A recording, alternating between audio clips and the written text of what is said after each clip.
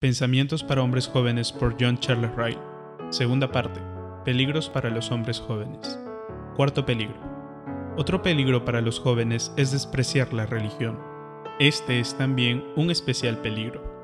Siempre observo que, de todos, los jóvenes son los que tienen menos respeto por la religión. Nadie, como ellos, se ocupan tan mal de los medios de gracia. Nadie participa tan poco en nuestros cultos.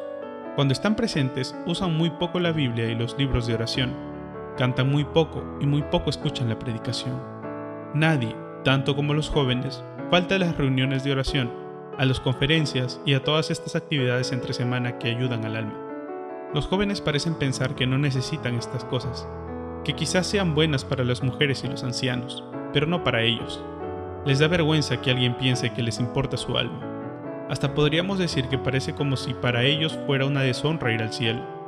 Y esto es despreciar la religión. Este es el mismo espíritu que hizo que los jóvenes de Betel se burlaran de Elías. Y de este espíritu les digo a los jóvenes, cuidado.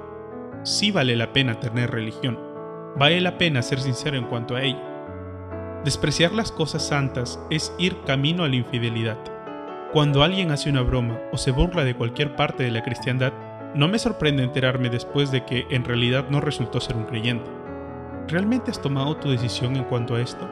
¿Has mirado bien el abismo que tienes delante de ti si persistes en despreciar la religión? Me vienen a la mente las palabras de David. Dijo el necio en su corazón, no hay Dios. Salmos 14.1. El necio y ningún otro más que el necio.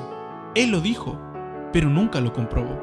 Recuerda, si hay un libro que ha dado pruebas de ser verdad de principio a fin, por todo tipo de evidencias, ese libro es la Biblia.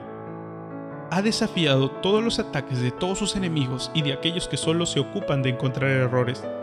Es acrisolada la palabra de Jehová. Salmos 18:30. Ha sido puesta a prueba en todos los aspectos, y cuanto más la ponen a prueba, más evidente ha comprobado ser la palabra de Dios mismo. ¿En qué creerías si no crees la Biblia?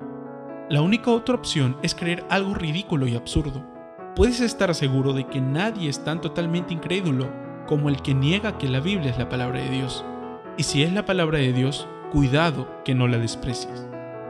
Los hombres podrán decirte que hay dificultades en la Biblia, cosas difíciles de entender.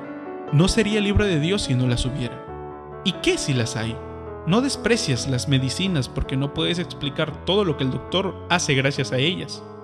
Pero digan lo que quieran los hombres, lo que es necesario para ser salvos es claro como la luz del día. Puedes estar muy seguro de esto. Las personas no rechazan la Biblia porque no la entienden. Al contrario, la entienden demasiado bien. Entienden que testifica en contra de su pecado y lo cita a juicio. Tratan de creer que es falsa e inútil porque no quieren reconocer que sea verdad. Una vida mal, dijo el célebre Lord Rochester, poniendo una mano sobre la Biblia. Una vida mala es la única gran objeción a este libro. Los hombres cuestionan la verdad del cristianismo, dice Sout, porque detestan tener que practicarlo. Joven, ¿cuándo falló Dios y no cumplió su palabra? Nunca. Lo que ha dicho siempre ha hecho, y lo que ha prometido siempre lo ha cumplido.